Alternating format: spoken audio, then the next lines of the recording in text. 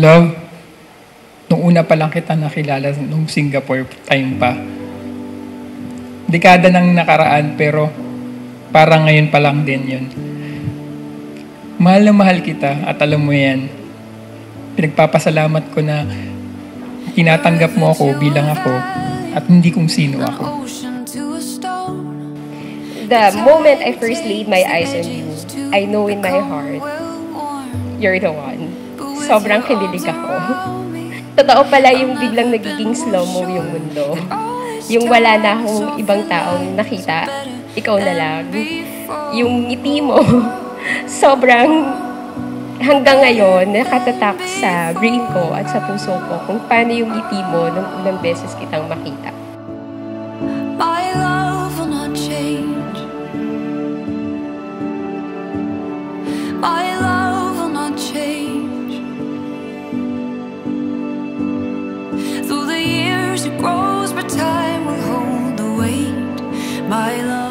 I know I'm not the perfect wife to be with, and I know that to be in your position is not that easy.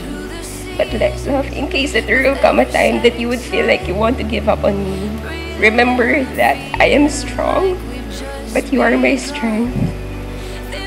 Aalagaan kita na parang rosas ko. Iingatan, proprotektahan. Nangangako ako sa iyo na ikaw lang ang magiging flowers ko. I love you and I love you forever.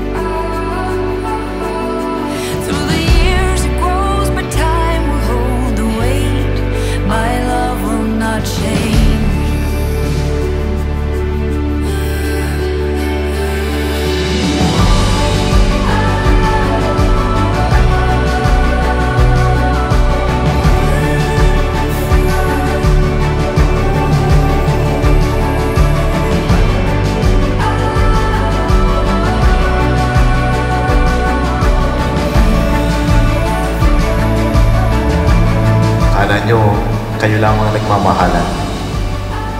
Pero without you knowing it, ginusto ito ng Diyos. Upang sa pagmamahalan niyo sa bawat isa, nakikita ng tao na ang Diyos ay pag-ibig.